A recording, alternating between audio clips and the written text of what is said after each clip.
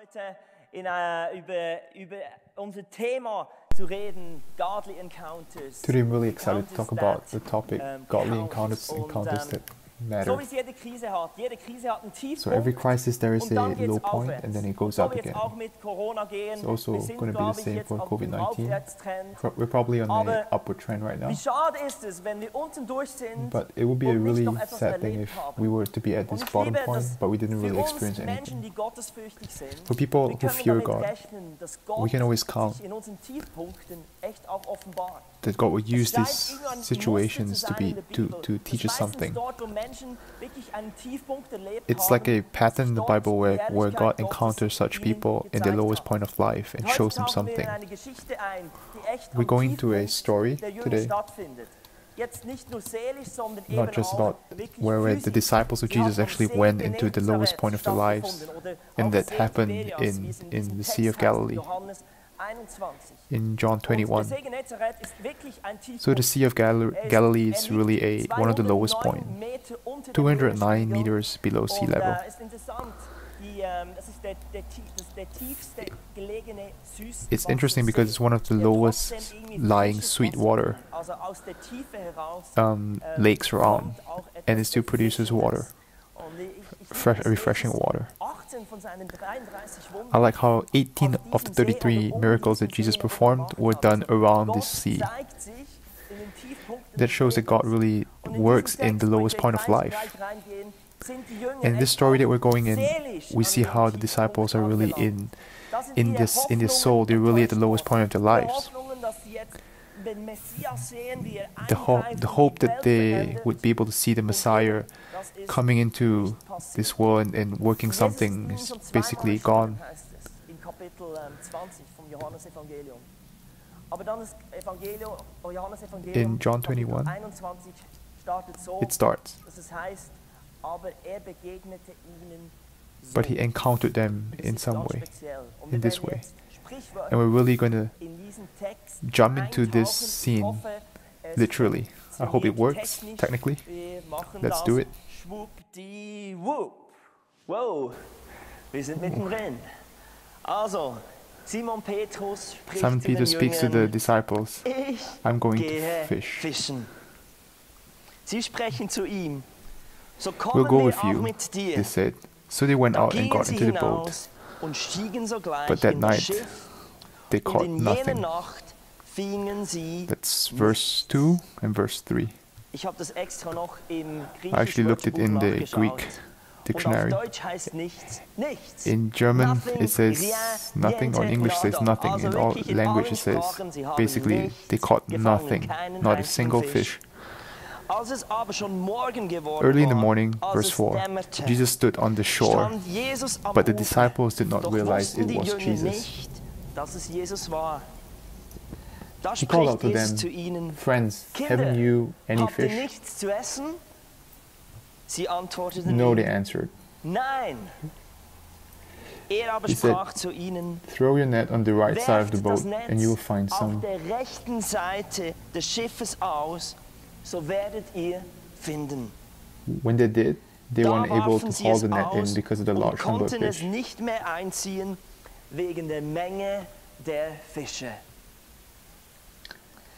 Then the disciple Jesus whom Jesus loved said to Peter, It is the Lord. Petrus, es ist der Herr. It is the Lord. ist der Herr. Petrus As soon as Simon Peter. Er heard him say- Okay, sorry. Johannes. Petrus ist in der neuen Simon Peter hasn't really arrived into this new reality yet. Er He's still somewhere else. He hadn't, didn't really understood the fact Jesus that Jesus has risen, ist, dass die neue that the new reality of the kingdom of God has come into play. er That's why he says, ich I'm going to fish. er wusste Because he didn't know how it was going, what was happening Er ging next. zurück zu den Dingen, He went back to the things he, he felt most comfortable with, whatever gave him security. The boat represents his financial security. Sicherheit. Dort wusste He knew er, how he er was gonna versorgen kann. War talentiert, get, er get hatte live off that. und das lief And, he, and it also went that way. Aber es bedeutet auch sein frühes Abenteuer. It also represented his, his, his earlier adventures, hatte mit anderen his company with other fishers, zusammen Zeit verbracht this friendship he built up over those days, This boat also represents his, his sense of purpose in his life. Weil jetzt plötzlich war diese ganze Because this whole thing with Jesus has been over, is, is over, or at least he thought so. Er ging einfach zurück And he went back to the place where he felt er, he had a er. sense, a sense of, of purpose.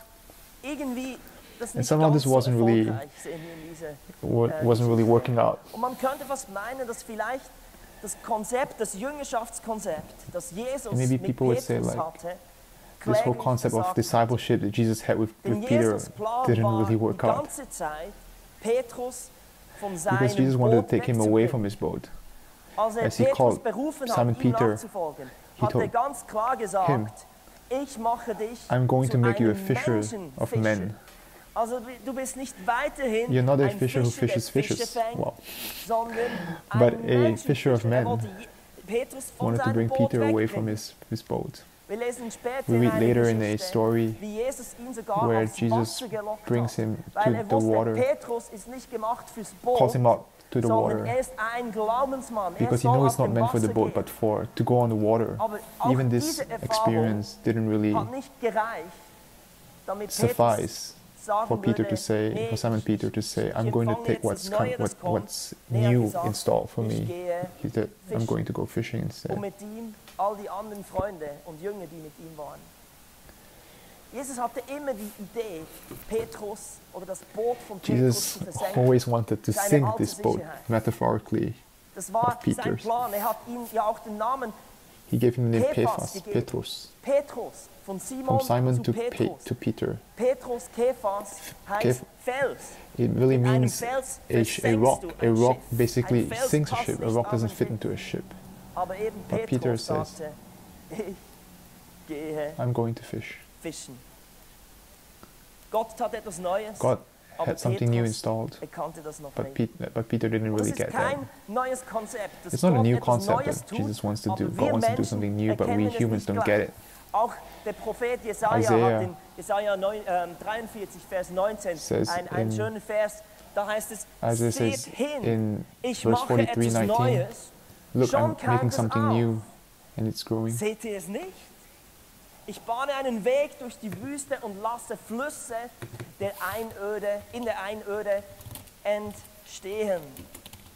Wisst ihr, See, I'm doing a new thing. Now it springs up. Do you not perceive it? I'm making a way in the war der wilden- Start wilderness and streams in the wasteland.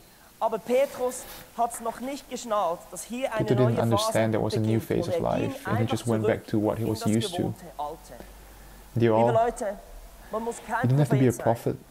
Wenn wir jetzt auf If you look at the coronavirus situation und ein bisschen zurückblicken und and you look back and you look in front, sagen können, wahrscheinlich gehen wir nicht zurück you would say maybe we're not going back to wir das früher normalcy that we've been used to. letzten zwei Monaten hat sich die Welt, unsere Gesellschaft, The world, society has changed. New values, new mentalities, new ways of doing things wie wir Dinge have, have been established. Und wenn If we were just, denken, were just to simply think we're going to go back to the safe place we were used to, dann werden wir wahrscheinlich auf der Strecke bleiben und frustriert bleiben. then we're most likely going to be really frustrated, das eben auch Petrus mit as with Peter experienced. That's how Peter experienced this emptiness. Es ist etwas Neues. There's something new. Es ist eine There's this new grace. auch. Ein, ein neuer Tag. Die, die Bibel redet davon, dass Every new day neue Tag auch eine neue Gnade brings a new grace with, from God. His mercies are new every morning, at least in English. Wir machen nichts eigentlich. Wir müssen nichts dafür tun, wenn ein neuer Gnade We don't have to do something new. We don't have to do something des Herrn ist Every day a new day breaks because the grace of God is we don't we don't earn it. ist kein theologisches Grace is not a theological concept. We find it in the Person of Jesus Christ. Jesus He is. Jesus is alive, living. His reality. deshalb können wir auch, wenn so ein neues That's why we can, whenever we start a new chapter, we can find a new grace. Um in diesem neuen we can find new grace to go into these new times. viele von uns ist das Because for many of us it's a huge stress. Jetzt auf uns zukommt, dass That's how the world's changed. hat. und gewissermaßen unsere and how it has wie wir es uns waren, shaken the, the, the security, the, die se- in the things that we've deemed as secure in our lives. dass die nicht mehr Somehow they don't fit into this new model das die Gesellschaft that we have we've glaube eben auch been establishing. But I believe God is behind all these. Grace, Gnade ist wie ein, ein neues Prinzip. it's like a new software, it's like a new operating system that's installed and, and started so that things work better. funktioniert. Das Neue Testament The New Testament is something like a new operating für uns Menschen, system so we don't have to work according to the law. Gnade ist nicht nur irgendwie It's not a theological concept, die Person Jesu Christi, but it's also an atmosphere where you come in, reinkommst und eine Umgebung, wo where you can blossom in a new way. Und ich will dir das Schöne heute zusprechen, mit dem Neuen, das kommt, haben wir auch Anrecht. And also say like for everything that's coming, that's new, that's coming, Es ist ein we have a new need for grace. My question to you is, an dich, dämmert es dir auch? Do you still do you live like that, or do you still live in the old times, as as Simon Peter did? das Schwierige ist an ein, The difficult thing about a new day, a new grace, new mercy, Die Gnade ist eben is the new- we haven't just ex- we haven't experienced that yet. We're not we're not secure in that yet. We don't have experience in that. Erfahrung in dem. Die Gnade, die jetzt The grace that's already present there for you it's the one that's already needed braucht, in den neuen for us to start into a new day. und aufzublühen. Aber weil wir das, But it's because it's unknown to us, ist, wir Menschen gehen natürlich gerne we as humans we like to go back to things that we are familiar with. For Peter, Simon Peter was this boat. so schön, dass er, hat sich abgemüht. Im, griechischen Text wird wirklich das, das, das Buch, äh, das, das Wort gebraucht, er, er war nackt. Er hat sich total entblößt auf diesem Schiff. Stellt euch vor, hier ist er mit seinen Freunden, So- mit Mitjüngern und er hat ihnen He gesagt, tells his disciples, hey, let's let's do let's go fishing. At least this is thing, something we can do. But this time he didn't actually didn't actually work for him because it was a new day. But he was er not in the new grace. Er hat auf das He just did whatever er he knew tun konnte, weil er previously, stark war. and he really worked a lot for that. er It was almost embarrassing because he couldn't catch any fish. Und am Schluss war er mit einer totalen Leere. He was faced with this emptiness, in emptiness in his net, Und ich glaube and also es war eine inner inner emptiness, er where he came to a point, an einen absoluten an Tiefpunkt absolute low point in er his life, a downer in his life. Somehow, passe ich hier I don't really fit into this anymore. He would think. Somehow I don't- I don't work as I used to. It was this emptiness, die aber etwas Wunderbares hervorbrachte. Es war diese this coming to sensors, senses, that this old sense of security, not the safest, it wasn't the safest place. wisst ihr, der sicherste You know, the safest place is not where you're most familiar. It's not a place where you're you're feeling Ort s- ist immer der Wille secure. It's always the will of God. Wherever God calls you to, jetzt eine neue- wofür dir Gott jetzt wherever God has given you grace for. hat. Ich will hier nicht sagen, dass das Alte, das At the same time, I don't das say like whatever is familiar is bad. Definitely not. Aber es ist But it's always a bad option compared to the grace diesen heutigen Tag that is given to you new every day. And we don't know that yet. nicht. Und ich We don't know this grace yet. einen, äh, ähm, I'll have to go into a text, a verse, Bei Petrus be- where where it because for Peter it actually just stopped there. It just blocked. It was blocked with him. Frage ist, gehen wir auf das ein? Dämmert es auch bei uns oder leben wir noch im Alten? Are we still living the old things when God is doing something new? In verse 7, 7, John 21, verse 7. letzten Teil gehört, da spricht der Then the disciple whom Jesus loved said to Peter, It is the Lord. Herr. Als nun As soon as Simon Peter heard that, heard him say that, Herr sei, gürtete it is the Lord, he wrapped his outer garment around him, for he had taken it off and jumped into the water. den See. Die The other disciples followed in the boat, Schiff, denn sie towing the net full of fish, vom Land, sondern etwa 200 for they were not far from, sh- from shore, about a 20 hundred yards. Meter, und zogen das Netz mit den Fischen nach. Something happened here. Etwas. Hier passi- passiert ein There's a transition from the old life to new life. Neuen. Es ist wie so die Dämmerung von, von der Nacht zum Tag, Something like the rising of the sun, hat, da tut Gott Where, where Simon Peter actually understands that and he says, I want to be part of that. Das Erste, was er The first thing he does is he leaves his boat er and he jumps into the water. Yeah, er war dazu berufen, ein Mann des He was called to be Glaubens zu sein, a- a man of faith. The other people, other disciples stayed in the boat, er hat jetzt endlich but he finally left his boat. verlassen und er wo, wo, wusste, and he knew I had to go to Jesus. Jesus. Das zweite The second important point is this transition From old to new, zum Neuen, wo es where it actually dawned upon him, er den Fang, das, wofür er The thing he actually worked for, whatever was was ihm so important to him before, he left sich behind. His fishing and all. He just passed it on to his disciple, other disciple, the other disciples. was? Der Segen, den ich von Jesus bekommen hab, The- The blessing that I got from Jesus is less important than the person that gave it to me, namely. Jesus. ist mir wichtiger Jesus is more als das, was important mir verheißen hat, than er whatever he gives me. versprochen hat, das, was mir gibt, all the, all the great things He's given me, the promises, blessings, things that we receive when we follow Jesus, they're not as important as Jesus himself. Und ich glaube, was wir vor allem hier And what, I believe whatever we can learn from here, the thing that we can learn from here is that Gnade so viel zu tun grace has a lot to do with letting go, Ich kenne diverse I know many movements die die Gnade Gottes that hold the grace of God really high. Es kommt immer wieder zum Tragen. Und meistens kommt es zum Tragen, dass wir die, die, die Gnade we should just einfach en- empfangen sollen. Accept this grace of. God.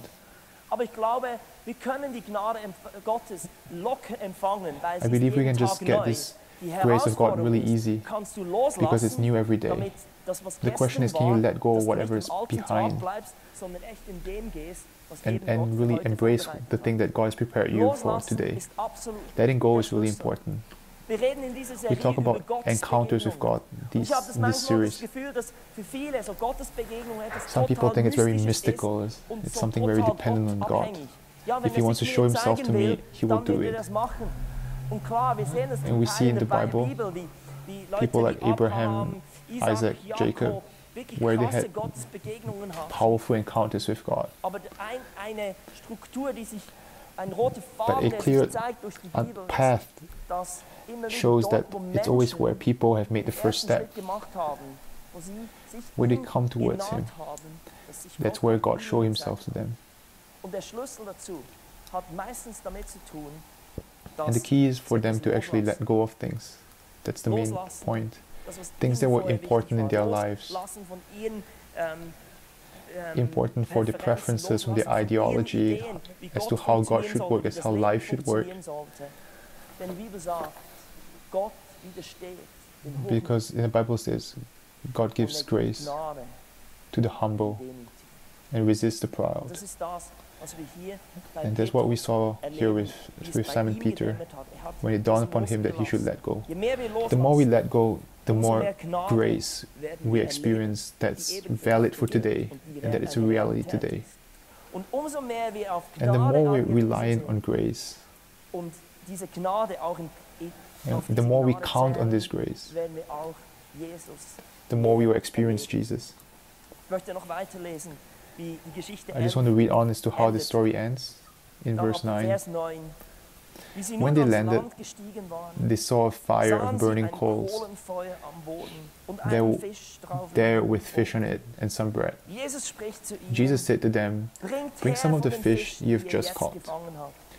So Simon Simon Peter climbed back into the boat and dragged the net ashore. It was full of fish, 153. 153. But even with so many, the net was not torn. Zerriss doch das Netz nicht. Jesus said to them, Jesus spricht zu ihnen, Come and have breakfast. None of the disciples dared ask him. Who are you? fragen, wer bist du?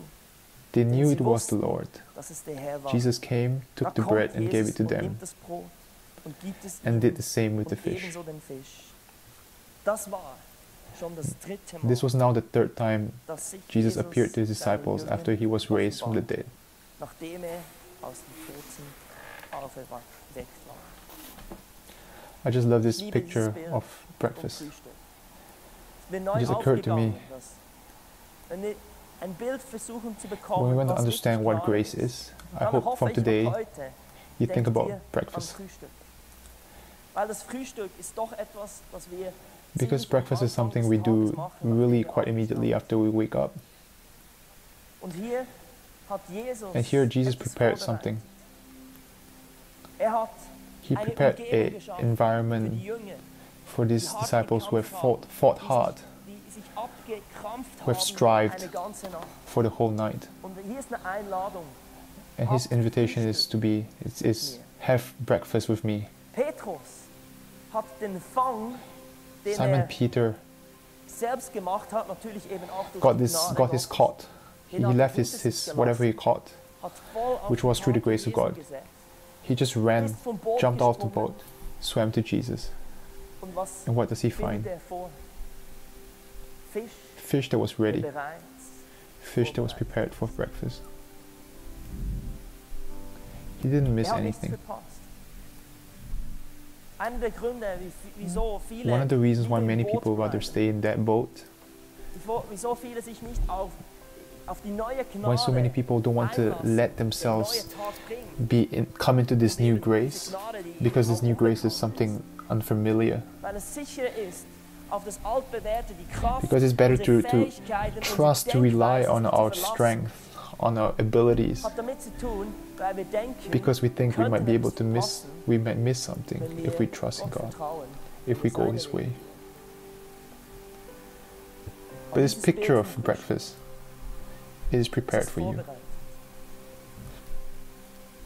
Ich liebe es, wenn ich reise I like how when I'm traveling ähm, and I wake up in a hotel, erwache und dann you just go down into the restaurant and there is this äh, huge äh, breakfast buffet. I just sit down dazugesetzt. Da waren Leute, die vorher because there were people who worked for that, who prepared that hours before I came. And I just am able to partake of this. And the invitation of Jesus Christ is Das war eine neue Erkenntnis. Das hat, da hat's bei, bei something that dawned upon Simon Peter. Weißt du was, Petrus? Du warst in deinem Leben immer derjenige, You were, that you were always the one who took the initiative, Simon Peter. You always had to do, you always had to fight for rights. dass hier gemacht wird. Wir, wir erinnern uns, hat As Jesus was caught by the soldiers, he even tried to kill the soldiers. abgeschnitten. Einfach, weil er das Gefühl gehabt, wenn ich nicht schaue, Because Simon Peter always thought that if I didn't look to something, something else wrong is going to happen. Und diese Begegnung, diese dritte And this third encounter that he has with Jesus so This was so important that it finally dawned upon him. dass wenn Jesus, But that when he when he allows Jesus to come to him, when he follows Jesus, nachfolgt, dass da etwas that he has he will see something that's prepared for him.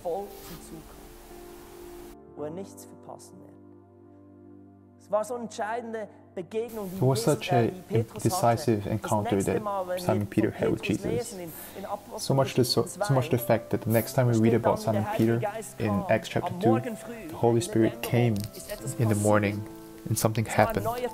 It was a new day, da war Petrus. and Simon Peter was there. Plötzlich hat es gesehen und Suddenly he, he saw and understood.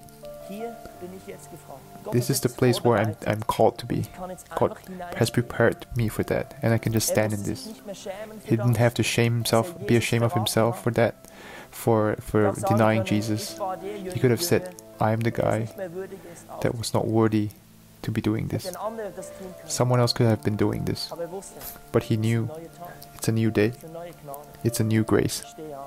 I'm going to stand up. God had prepared something for me. I can be part of this. auf Jesus setzen. I can put my strength, my, my trust in Jesus. habe eine tolle Geschichte gehört von einem I heard a really nice story about a rich man dessen Sohn aber vor ihm gestorben whose son died before him. wohlhabende Mann selbst starb, hinterließ er ein Erbe, aber keinen Erben. That when he died, he had an inheritance, but no one to. To take his inheritance. Willen geschrieben, dass sein Vermögen And he wrote that his his wealth, his resources should be auctioned off, wohltätigen, fürs wohltätige And should be used for- charitable deeds. Er hatte auch eine ziemlich bedeutende Kunstsammlung. He had a really amazing, art collection. and as this was announced, kamen viele Menschen, die, die sich natürlich sein Kunststück many people came von bedeutenden Künstlern and wanted to see this piece of work. Und ähm, der Vater oder der Mann, der wohlhabende Mann hat aber klar beschrieben in seinem And this Willen, guy, wie diese this rich guy, vonstatten gehen sollte. he wrote in his will and said stand, dass das the first picture that should be auctioned off should be a portrait das ein unbedeutender Maler von seinem Sohn gemalt of an un- unknown Und so hat painter who painted his son. Auktionsleiter mit dem Hammer die Auktion eröffnet. This auctioneer started the auction, showed the picture, und da war eine gewisse Ernüchterung zu and many people were quite surprised äh, Leuten, die zu dieser Auktion gekommen sind, weil die warteten eigentlich auf die bedeutenden, auf die bedeutenden because they were waiting for the important pictures, important paintings. für dieses Bild vom, vom Sohn des Verstorbenen. And nobody really was interested in this picture. It was quite quiet. And somewhere, some, sometime later, some while later, sagte, ja, wenn if es niemand someone, some guy said, if no one wants this, I'm going to take this. stellte sich heraus, dass dieser alte It turns out this old man war von was the butler of this, this, Er this rich man. den, den Sohn, He knew the son auf diesem Gemälde war. on this, on this painting. Der Butler, der The former butler came forward, took the picture. Bild und sobald er es in As den soon as he Händen took it, hatte, hörte man den Hammer des and Auktionsleiters someone heard niederschmettern the hammer und of the sagte, auctioneer. hiermit ist die ganze Auktion And. He said, this whole auction has been ended. anderen, die in diesem Raum waren, And people were kind of surprised. Ja, wir sind für We came for the other pictures. Aber dann las der Auktionsleiter den Willen des verstorbenen Mannes vor, But then the auctioneer read his Und da stand read, read the will dass das erste of the man. das versteigert werden soll, He said the first first painting Sohnes sein soll. of that's going to be auctioned off, and whoever takes this portrait, dem gehört dann auch. to him belongs everything else. Denn die Liebe für seinen Because the love for his son hat den wohlhabenden auch dazu bewogen, dass er sein ganzes Vermögen einer Person anvertrauen he wanted to bring this, give this whole all this wealth to someone who actually loved his Das ist ein son, his son. It's an amazing picture of, of the grace of God. er Who says, hat, mein Sohn Jesus My son Jesus Christ, wenn jemand ihn liebt, when someone loves him, sich für, für when someone decides for him, dann kommt alles everything else, whatever I have, is coming to you. Es ist etwas, das du nicht, dir nicht It's something you can't aber du musst earn, dich auf das but you have to accept it. auf das, was, was ich bereit habe und nicht auf das, wo, wo du And not you have to accept it and not rely on your own strength. Wir reden in dieser Serie von lebensverändernden. We talk about life-changing encounters in this series. Es war eine. There was one such encounter for Simon Peter. Er hat sein Boot He left his boat, and he is a man der neue Wege, that went new ways. der es plötzlich akzeptieren konnte, dass eine neue He could accept this new Realität da war. reality. Und ich glaube, er war ein Mann, der in der Gnade And I knew he was a man that went das, into grace. er getan hat, das, was er Wherever he worked. that das, was er bewegt hat, das deutet von einer Gnade Shows this grace of God in his life and not his strength. I'd like to invite you to pray with me weil ich glaube, es hat ein neuer because I believe a new day has started. The question is, wo bist du? where are you? Und ich liebe, dass Jesus sich nicht zu schade war, I, I just like how Jesus didn't find it wo a er bad idea where he where he found where he doesn't belong. Is. It shows that Jesus says like, hey, grace is there again for you. oder hoff, halten Dinge Many of us hold on to things that should be the way it should be, aber es ist eine but a new day has dawned. es ist eine neue Gnade. die New mercies have come that you haven't known. Und das Boot ist der The boat is the, wrong place for for grace. Das ist mein Gebet. It's my prayer bei dir etwas. that something dawns upon you. Ich lade euch ein, mit mir auf die Knie zu I invite you to to come to come on your, to fall on your knees with me. The Bible says God resists the proud, but he, he shows grace. To the humble. Maybe we, sometimes we need crisis so that we come to the point. And I pray that we don't just experience Him in crisis. But we always have His daily low point in our life. it's not me, it's not my will, but yours. I leave everything behind behind me. I want to pray that the next few days will be low days, low points for you, such that the whole the the the, the, majesty of God will be shown clearly to you. Such that not that grace would be wasted In your on you durch dein Leben. or, or through you, such that God can work through you. Lord, I thank you dass du dich that you show us dort wo er wir unsere Grenzen kommen, wherever we come to our limits, where we experience our ich danke dir, dass We thank you that- that your, your, your grace is reality, wofür wir nicht that we don't have to work for it. Aber wir auch sagen, Herr, bei uns But I want to pray that we we get to see this, that it dawns upon us, ein Leben leben, das wir that we don't want to live a life that was like previously, wir wollen am sichersten Ort where we want to be safe and sound, wo wir sein können. Das ist dein but we want to be in your will, which is the safest place to be. Ich spreche es über jedem We speak this over everyone who is watching, dass wir neu that we can understand again Gnade für heute how your grace is for today. Ich habe speziell auf dem Herzen für, für euch zu beten, dass, dass ihr es schafft, eure Präferenzen loszulassen. I want to pray that you leave. Glaube, Your preferences behind. was uns davon I think one of the biggest things that help, that stop us from going to grace gehen, ist, dass wir einfach an dem festhalten, wie wir es gerne haben. is the fact that we like to hold on to things the way it should be, it, that we like it. es in meinem Leben We say, hey, this is how we like it. so This is how I expect it. Gottes Gnade erfahrbar wird. But I believe God's grace will be experienced, can be er experienced. Unsere Vorlieben. Allows us to to let go of our preferences. Be blessed. Ist er Grace is new every day. Tag. Ich hoffe, es er I pray that it dawns upon you too that way. Amen.